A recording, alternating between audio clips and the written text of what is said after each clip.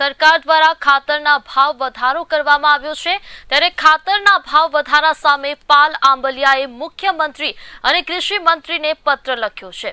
પત્રમાં ખાતરનો ભાવ વધારો પરત ખેંચવા માંગણી કરવામાં આવી છે. જેમાં પૂછવામાં આવ્યું છે કે સબસિડી આપવા છતાં ખાતરમાં ભાવ વધારો કેમ થાય છે? વધુમાં તેમણે જણાવ્યું છે કે સરકારની નીતિ ખેડૂતોને ખેતી છોડવા મજબૂત કરે છે.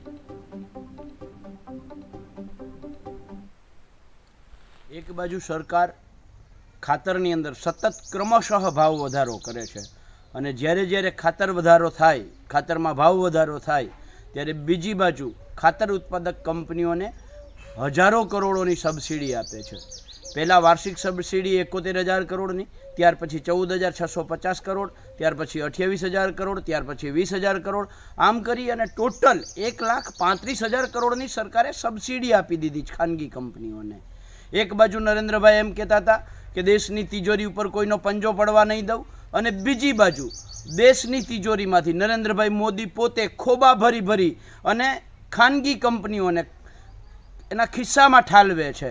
આ સરકારની જે બેધારી નીતિ છે, જો ખાતરનો ભાવ વધારો ખેડૂતોએ સહન કરવાનો હોય, તો સબસિડી શા માટે આપવામાં આવે છે? અને જો સબસિડી આપવામાં આવતી હોય, ખાતરનો ભાવ વધારો ખેડૂતોએ શા માટે સહન